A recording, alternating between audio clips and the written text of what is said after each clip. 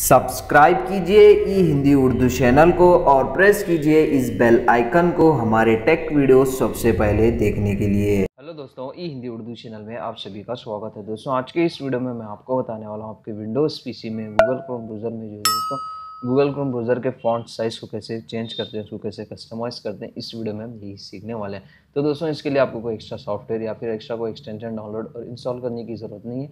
ये inbuilt feature है दोस्तों गूगल क्रोम ब्राउज़र का। गूगल क्रोम ब्राउज़र ओपन कीजिए थ्री डॉट्स पर क्लिक कीजिए और इसकी जो सेटिंग्स रहती है दोस्तों, उसको ओपन कीजिए।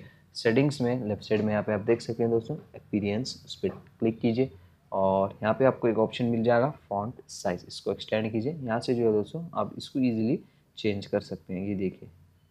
जैसा चाहे वैसा आप इसको सेट कर सकते हैं।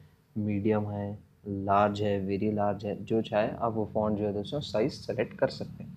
अगर आप इसको कस्टमाइज़ भी करना चाह रहे हैं तो वो भी आप यहाँ से इजीली कर सकते हैं दोस्तों। आप अपने हिसाब से जो है दोस्तों, इसकी जो सेटिंग्स है, आप इसको सेट कर सकते हैं। तो इस तरीके से दोस्तों आप इजीली आपके विंडोज़ पीसी में गूगल क्रोम ब्राउज़र में जो है दोस्तों ब्राउज़र के फॉन्ट साइज़ को चेंज कर सकते हैं। तो बस दोस्तों, ज़्यादा कुछ है नहीं इस वीडियो में बताने के लिए। तो वीडियो पसंद आ गई हो तो लाइक कीजिए शेयर कीजिए सब्सक्राइब कीजिए। मिलते हैं नेक्स्ट वीडियो में। वीडियो के रिलेटेड जो भी डाउट्स हैं कमेंट सेक्शन में अपने डाउट्स को क्लियर कर सकते हैं। Thank you